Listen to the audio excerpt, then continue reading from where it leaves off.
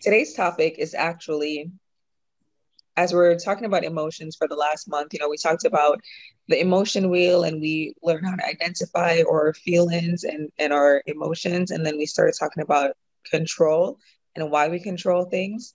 And for today, it was just really on my heart for us to talk about the topic that it's okay to not be okay, right? Most of you know me, like um, usually very cheerful, always, always very happy, very positive, very optimistic. But I want you to know that this is also a safe space and it's okay to not be okay. One of the other reasons why I decided to do this topic is I was in a meeting today and I'm the project manager for the group that I was working with. And this woman came on about 25 minutes late. And typically what we do in the beginning of the conversation is we we do a check-in, you know, like how's everybody doing? And it's not just, oh, I'm good. Like I really push them to share authentically how they're feeling, what's going on in your personal life, how is it affecting your professional life? So we did all that. And by the time she came on, we were in the business meeting. So people were giving their project status updates. And when it was her turn, she said, Hey, um, this is my update, da da da. And we can hear this cracking in her voice, but her video was off.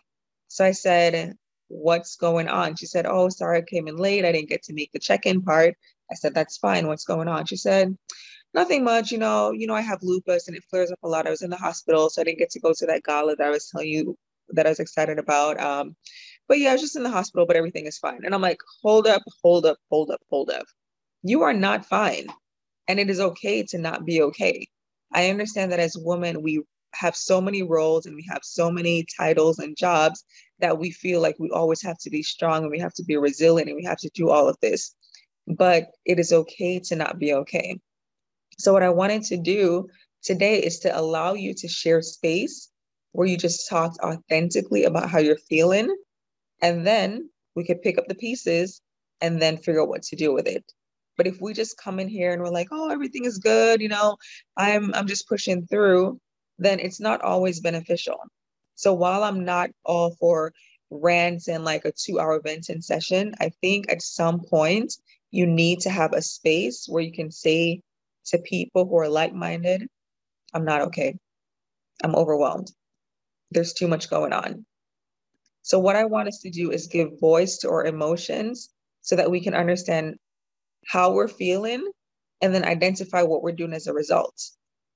For example, I told you that one thing that I struggled with and I'm still working through is emotional eating. So, whenever I feel stressed or overwhelmed, I use food as comfort. I use food to pacify me. But the result is that I'm going to gain weight and then I'm going to be even more upset that I gain weight and then it's going to be this vicious cycle.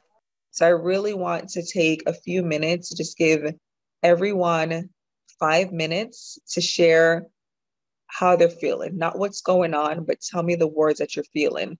Think through the emotion wheel, look at it. What are the feelings that you're feeling? And how is that showing up in your personal life? Are you overeating? Are you not sleeping? Are you not eating? Are you spazzing at your kids? How is that showing up? So, Lisa, I'm going to start with you. Go ahead and share authentically how you're feeling, what's happening, and what's happening as a result of how you're feeling. So you kind of went out. I don't know if you asked me to go first. I'm pulling in by my house, and the service might get a little wacky until I get inside. So, did you ask me to go first? I did. You want to oh, go last? Okay.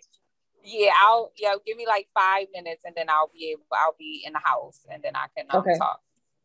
All right, All right, I'll let Tammy go because Arelis keeps popping in and out.